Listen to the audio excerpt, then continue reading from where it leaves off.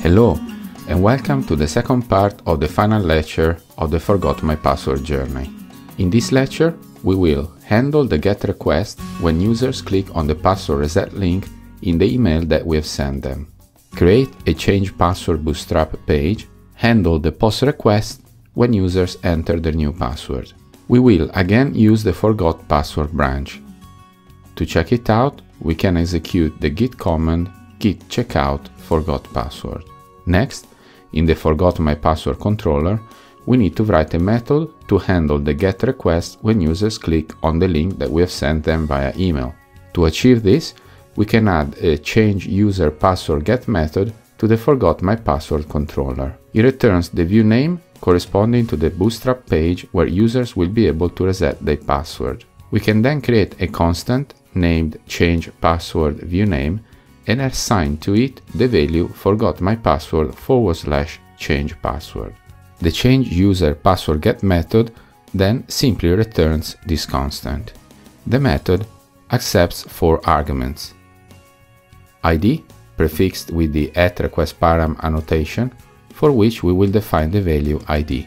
Token, prefixed with the at request param annotation, for which we will define the value token.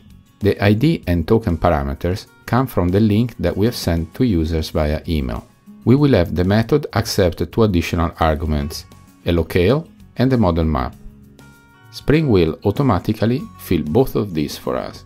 Next, we will annotate the method with the at request mapping annotation for which we will set the value attribute to the constant change password path and the method attribute to the value request method.get. We will also need to add this constant to the list of publicly accessible URLs in the security config class. For now, we will simply return the view name and implement the logic later. Now, we can create the change password page. We can copy the email form page and remove the bootstrap container.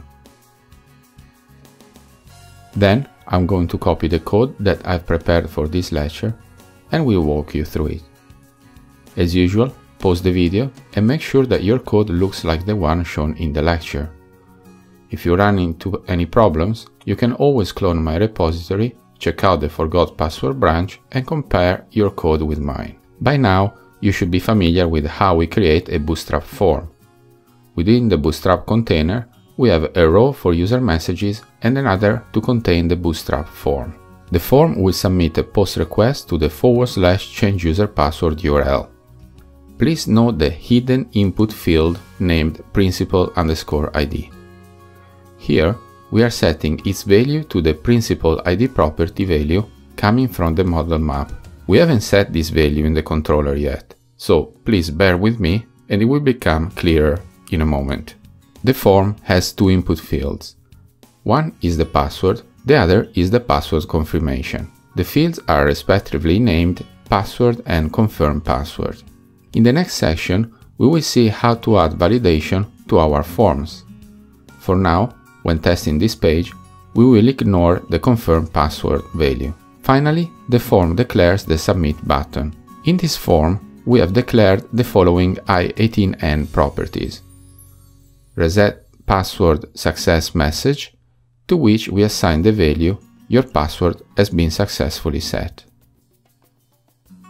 forgot my password fill in form below, which we have already defined, reset password plead, to which we assign the value enter your new password, login password text, which we have already defined, and finally sign up form confirm password, to which we assign the value confirm password. We have prefixed this latest property with the word sign up as we will reuse it later in the course when implementing the account creation journey. I'm now going to create a new section in the messages.properties file called the sign up, where we will be placing all sign up properties later on in the course. If we restart the application now, go through the forgot my password journey and click on the email link, the change password form should appear.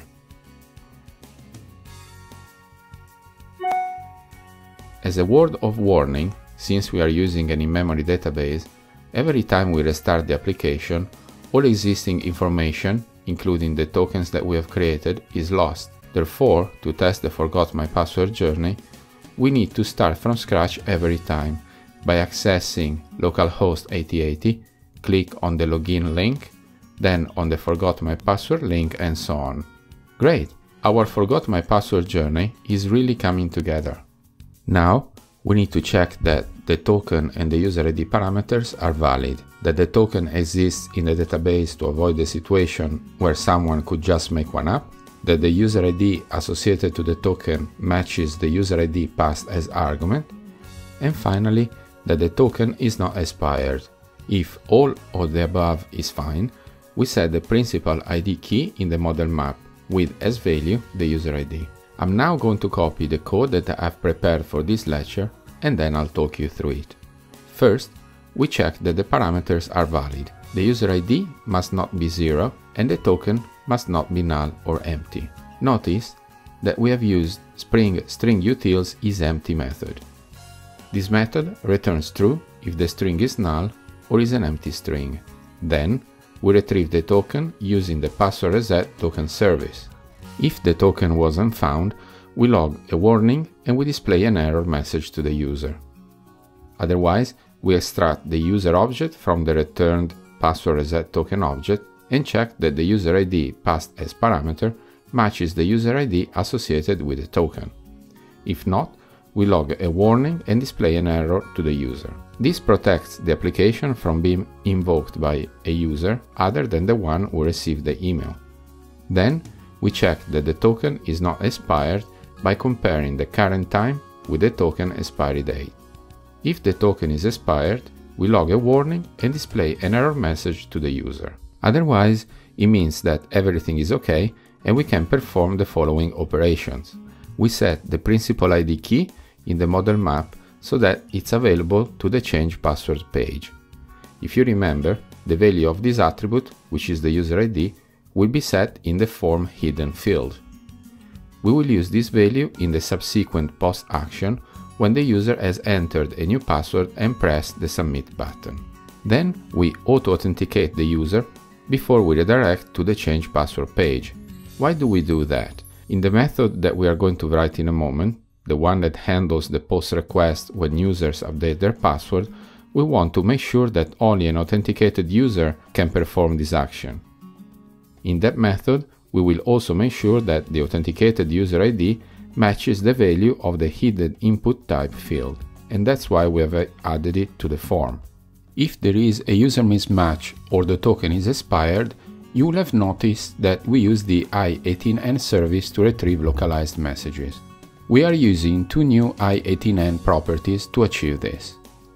Reset password token expired, to which we assign the value your token has expired, please visit the forgot my password link again, and reset password token invalid, to which we assign the value the URL that you have clicked on doesn't appear to be valid. So let's add these two properties to the messages.properties file. You will have also noticed that we have added two new constants to the forgot my password controller. Password reset attribute name, which is set to the value password reset, this is the flag that we use in the change password page to know whether to display a message to the user. And message attribute name, which we have set to the value message. This is the model map key for the message that we want to display to the user. I'm now going to scroll up and down through the forgot my password controller so that you can pause the video and ensure that your code looks like mine.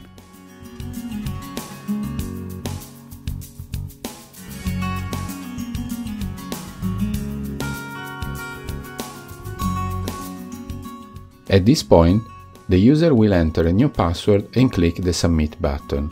We need to add a method to the Forgot My Password controller to handle the post request. I'm going to copy the code that I've prepared for this lecture and then I'll walk you through it. The method accepts three arguments. The principal ID, coming from the hidden field in the form, the new password, and the model map. In the method, we get the authentication object from the security context holder. If the user is not authenticated, which means that the authentication object is null, we log an error as this is potentially a security breach. Set the update status to false and display to the user an error message. Otherwise, we can assign the value returned by authentication get principal to a user type, since the user entity implements the user details interface. Next, we check if the authenticated user is the one who clicked on the password reset email. Again, if this is not the case, we log an error and display an error to the user. Now, we need to auto-wire a user service so that we can invoke the update user password method that we have implemented a couple of lectures ago. Finally, we set the update flag to true and redirect the user to the change password page. If we restart the application now and test the whole forgot my password journey, we will be able to see that the journey ends with the user's password being updated.